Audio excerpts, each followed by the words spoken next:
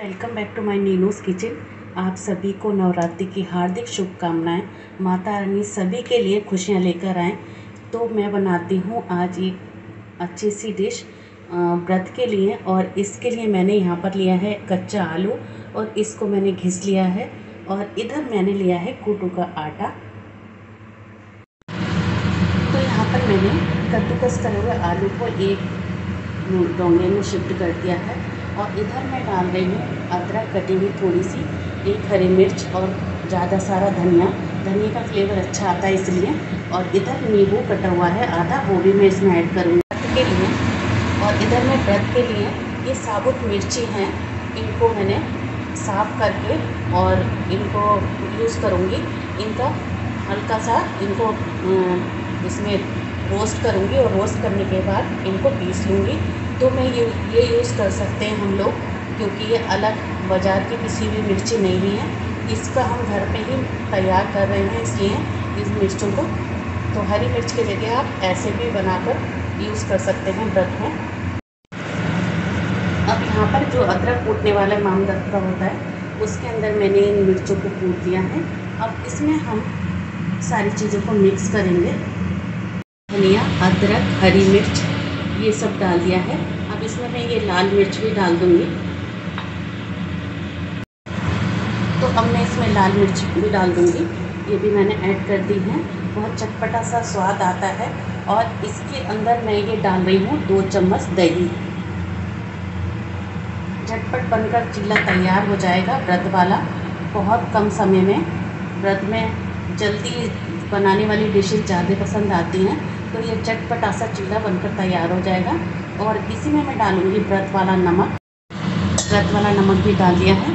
इसमें ही नींबू का रस भी ऐड कर रही हूँ मैं ये। और इसी में थोड़ी सी काली मिर्च पाउडर। इसको सबको मिक्स कर लेंगे। मैंने ये अब इसी में मैंने एक कोटू का आटा डाल दिया है, तीन चार चम्मच।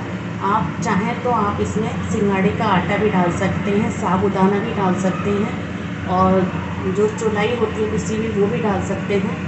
पीस कर कुछ भी आप इसमें ऐड कर सकते हैं व्रत का तो मैं यहाँ पर डाल रही हूँ। इसको हमें इस तरह से ही रखना है, ज़्यादा पतला नहीं करना, जैसा कि मैं दिखा रही हूँ आपको, इस तरह से ही होना चाहिए। ज़्यादा पतला नहीं करना है इसे।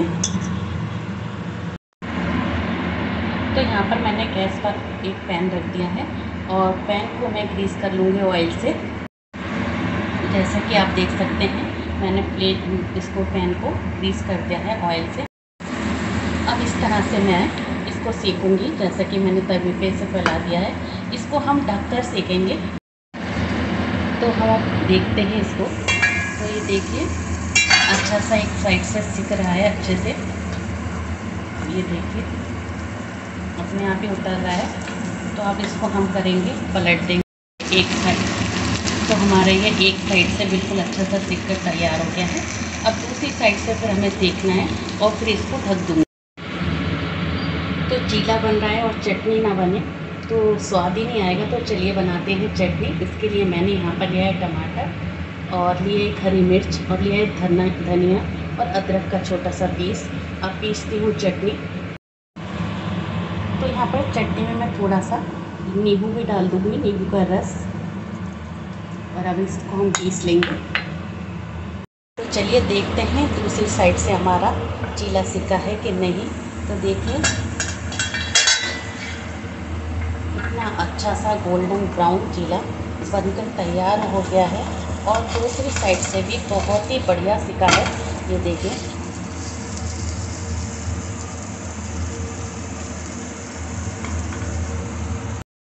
तो आप देख सकते हैं कितना अच्छा सा बनकर तैयार है कूटू के आटा और कच्चे आलू से बना हुआ नाश्ता।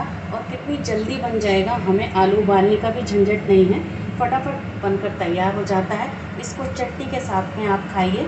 तो करती हूँ इसकी प्लेटिंग। तो कितना टेस्टी सा और बहुत जल्दी बनकर तैयार हो गया है व्रत का हमारा नाश्ता।